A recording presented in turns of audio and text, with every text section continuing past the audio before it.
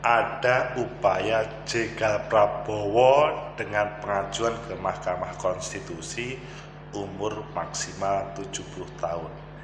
Ini sebagai langkah menyelamatkan Prabowo atau ya seharusnya Pak Prabowo tidak bisa menjadi capres karena memang sudah lebih 70 tahun.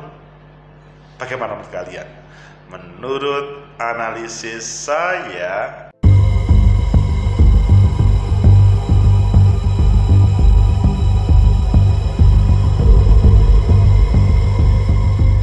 Assalamualaikum warahmatullahi wabarakatuh. Salam sejahtera untuk kita semua. Pecinta masa depan negeri Tegakkan kebenaran lawan ketidakadilan. Umur Apakah menjadi masalah untuk kalian dalam kehidupan? Salah satunya menjadi pemimpin di negeri ini Karena ada yang mengajukan 70 tahun tidak boleh nyapres Tetapi dikatakan oleh Partai Gerindra ini adalah penjingkal Ayo kita baca di Tempo terkait dengan hal itu. Tanggapi gugatan batas maksimal usia capres 70 tahun, Dasko bantah ada upaya jegal Prabowo. Tempo.go Jakarta, Ketua DPP Partai Gerindra Sufmi Dasko Ahmad menilai gugatan ikhwal syarat usia maksimal calon presiden dan wakil presiden bukan untuk menjegal Prabowo Subianto.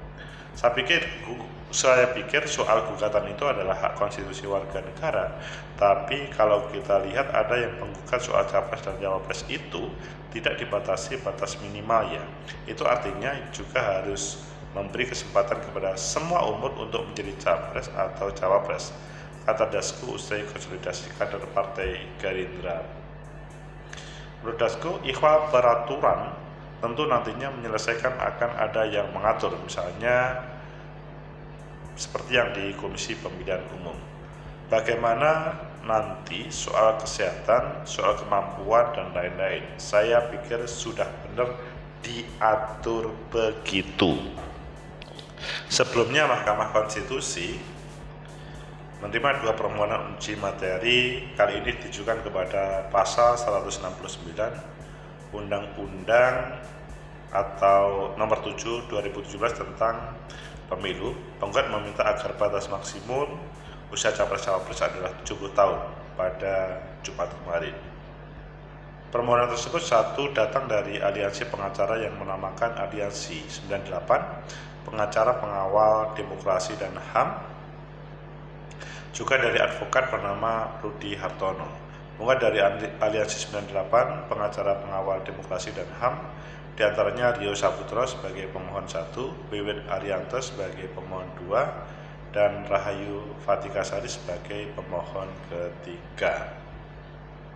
Mereka mengajukan uji material pada pasal 169 huruf D dan I Undang-Undang 7 2017 terhadap Undang-Undang 45 Undang Dasar 1945. Pasal 169 huruf D berbunyi tidak pernah mengkhianati negara serta tidak pernah melakukan tindak pidana korupsi dan tidak pidana berlainnya. Sedangkan pasal huruf Q berusia paling rendah 40 tahun. Dalam permohonannya, pemohon meminta syarat usia maksimal capres-cawapres dibatasi hingga 70 tahun. Permohonan itu diberlaskan pada pasal 6 Undang-Undang Dasar 1945 yang menghendaki capres-cawapres yang mampu secara rohani dan jasmani untuk melaksanakan tugas dan kewajiban sebagai presiden dan wapres. Menurut para pemohon, perlu ada persyaratan batas usia maksimal capres-cawapres kalian yang 70 tahun. Apakah juga bermasalah betul? Wah, itu yang.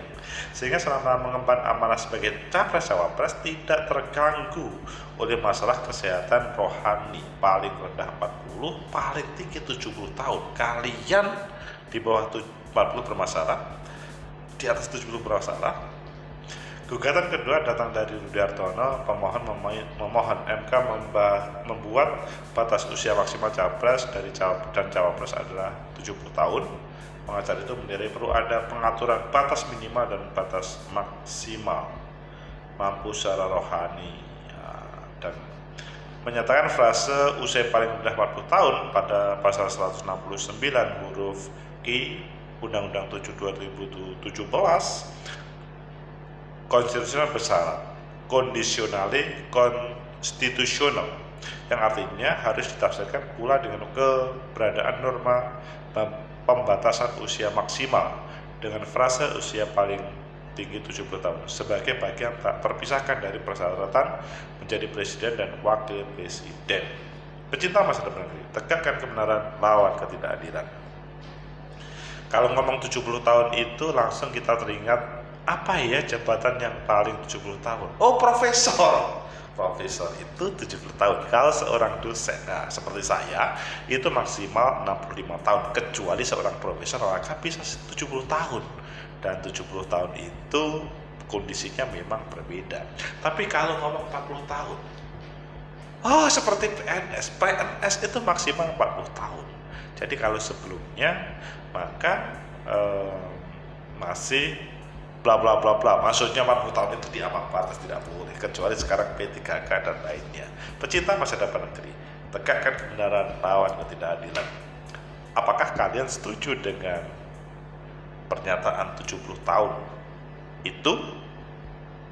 Sebagai penghalang penjaga Prabowo untuk menjadi bakal calon presiden di 2024 menurut analisis saya bahwa pertama ya kalau menurut saya tidak perlu kita langsung mengatakan itu menjegal atau tidak menjegal tetapi biarkan kesempatan kepada Mahkamah Konstitusi untuk memprosesnya dengan logika bahwa kita mencari pemimpin yang memang betul-betul memimpin. Pasti kalian bertanya, apakah 70, 70 tahun itu sudah tidak oh ya tidak mampu memimpin? Kalau menurut saya ada beberapa negara yang mampu misalkan kalau di tetangga negara kita meskipun tidak menjadi persyaratan Perdana Menteri Mahathir Muhammad yang sangat kontroversial karena pernah memasukkan penjara Anwar Ibrahim tapi selanjutnya menjadikan Anwar Ibrahim sebagai sekutunya. Dan beliau sampai umur 90 tahun pun bisa menjadi pemimpin. Kalau perbandingannya dengan Anwar Ibrahim, eh, Anwar Ibrahim, Mahathir Muhammad, maka 70 tahun bukan menjadi masalah. Tetapi kalau perbincangannya seperti profesor, maka ya mungkin terkait dengan kesehatan sesudah 70 tahun itu berbeda kecuali pada beberapa orang. Jadi kalau kalau begitu ya bukan masalah 70 tahunnya, tetapi apakah dia mempunyai kelayakan kemampuan untuk menjadi capres atau tidak. Toh mau sudah banyak orang yang buat 10 tahun itu meninggal dunia. 30 tahun sudah kena stroke, itu sudah banyak Berbeda dengan yang 70 tahun masih sehat. Jadi sebetulnya bukan pada angkanya, tetapi pada kualitas terkait dengan umurnya. Ya, nanti kita juga akan mengikuti bagaimana Mahkamah Konstitusi, logika hukum Mahkamah Konstitusi nanti memutuskan atau bahkan nanti malah menolak proses permohonan ini. Kemudian yang kedua, terkait umur 40 tahun apakah nanti juga akan dipermasalahkan? Karena kemarin itu sempat menjadi tema untuk mengadang Mas Gibran. Kalau menurut saya ya tidaklah elok hal itu dipermasalahkan. Toh kalau kita ngomong para pengelola negara banyak yang masih umur 25 tahun menjadi bupati lancar-lancar saja. Kita masih ingat ya bupati Tenggara yang sangat muda waktu itu sampai sekarang wakil bupatinya sangat muda di beberapa tempat pun juga di Kediri pun juga sangat muda meskipun di atas 25 28 lah. Tapi intinya bahwa it's okay menjadi pemimpin. Meskipun mungkin kalau ngomong apakah kalian setuju atau tidak dalam proses pemilihannya itu hal yang lain. Tetapi bahwa seseorang terkait dengan umur 40 apakah dia layak menjadi pemimpin atau tidak? Toh sudah banyak yang bisa untuk memimpin. Hanya perbedaannya kabupaten dengan negara itu perbedaannya adalah ya terkait dengan luasnya. Kalau menurut saya terkait dengan satu kabupaten itu kalau dibandingkan dengan Singapura misalkan ya di Indonesia lebih besar lebih lebih kualitas berkualitas memimpin kabupaten Indonesia daripada Singapura.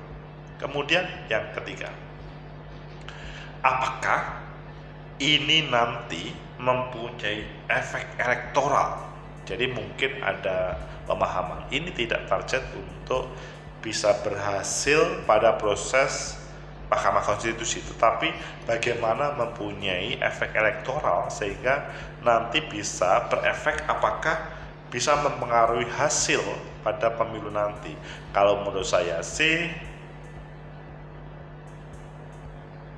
kalau dikurang terus-menerus tanpa ada sebuah klarifikasi yang jelas mungkin iya. Tetapi kalau dirasionalisasikan dengan menampilkan tentang kesehatan maka tidak. Lah, sekarang pada kesempatan ini kalian boleh berpendapat apa pun di bawah di komentar. Tapi kalau menurut saya sih umur itu tidak harus dijadikan sebuah masalah. Tetapi bahwa tentang kesehatan itu yang menjadi kata kunci. Hanya kesehatan itu harus ditampilkan oleh orang-orang yang kredibel. Dia tidak boleh hadir karena politis, kepentingan politis, bukan, tapi kredibel. Sehingga nanti apakah dia umur 40 lebih atau di bawah 40, eh, maksudnya di atas 70 atau di bawah 40, maka it's okay. Kalau ada yang masih umur 30 dan kena stroke, gagal menjadi calon pemimpin. Tetapi kalau memang dia mempunyai kesehatan, logika hukum Mahkamah Konstitusi perlu ditampilkan untuk memutuskan sehingga tidak ada satupun orang yang merasa terzolimi terjegal karena masalah umur kualitatif itu bukan angka tapi bagaimana kualitas seseorang bisa siap memimpin ataupun dipimpin. Semoga bermanfaat. Like, subscribe, comment, and share. Sampai jumpa